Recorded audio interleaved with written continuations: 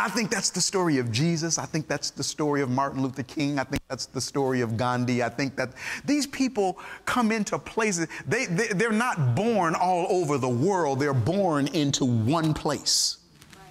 Are you listening? Jesus was born in Bethlehem in a manger, but now his name is known worldwide. Gandhi was born over in the Middle East, but his name is worldwide now.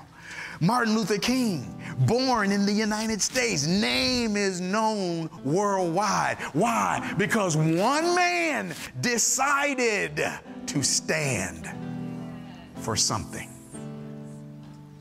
What do you stand for? What do you stand for? What do you believe? Leaders raise up leaders. It's criminal for a leader to be satisfied with followers.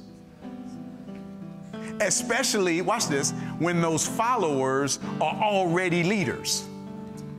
Not meaning, not, when I say leaders, don't think title. When I think le- when I say leader, don't think functioning in a leadership like this, church setting, running a company ahead of. No, no, no, no, no. You are the leader of yourself first. God help you if you got children because now you're leading them. You're leading somebody. And, and somebody needs to tell us that.